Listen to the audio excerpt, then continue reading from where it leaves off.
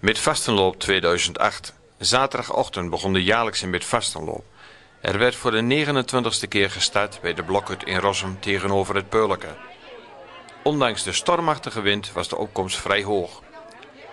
Nadat er ingeschreven was, kon men starten aan de 40 kilometer loop.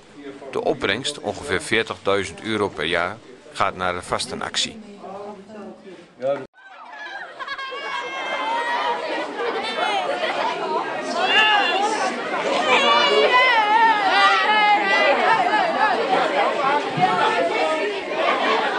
Hoe is het dit jaar? Eh, Valt het mee of valt het tegen met de opkomst?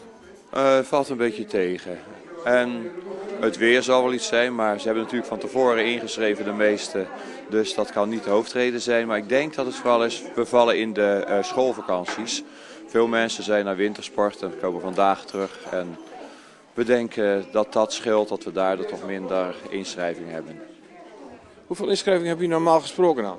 Eh, de laatste jaren zaten we steeds zo op 1700, 1800. En nu is de schatting dat we ongeveer op zo'n 1400 zitten. Denkt u dat er nog veel mensen wegbleven vanwege eh, het eh, harde wind?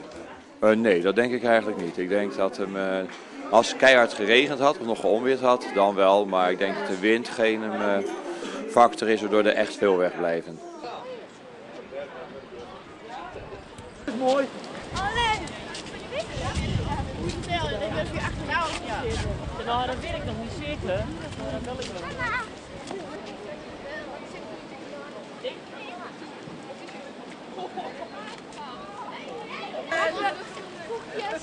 loopjes.